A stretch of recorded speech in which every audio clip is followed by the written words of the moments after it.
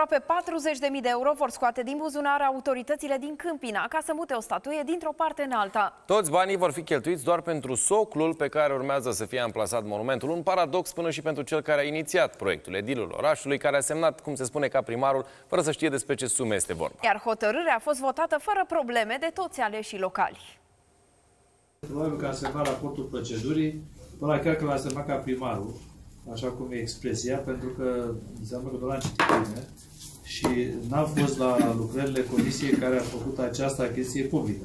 Este declarația halucinantă a primarului din Câmpina, Horia Tișanu. Chiar el a dorit relocarea statuii eroului neamului românesc dintr-un parc în altul, însă habar nu a avut despre ce sumă este vorba. De-abia după ce proiectul a fost votat în unanimitate de Consiliul Local, a aflat că 184.000 de lei vor fi cheltuiți doar pentru un soclu din tablă de oțel. Dacă ne uităm la 180.000, chiar mi se pare o sumă foarte mare. Cum să zic, pentru acest soclu, care e dreptul de autor asupra aceea? Asupra acelei schițe cu, cu Da? Cu socul. Da. maro, așa, cu tablă maro sau... Oficialii primăriei găsesc totuși justificări pentru suma foarte mare. Proiectul este mult mai complicat decât s-a crezut inițial. Nu vorbim despre o desemnare a artistului care va executa, uh, ci vorbim despre uh, un contract făcut pentru proiectare, uh, proiectarea demolării și a reamplasării. Locuitorii din Câmpina sunt revoltați că autoritățile aruncă atâția bani. Nu este normal, adică banii ăștia se puteau aloca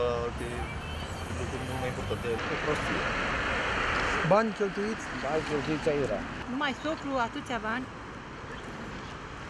Foarte bun.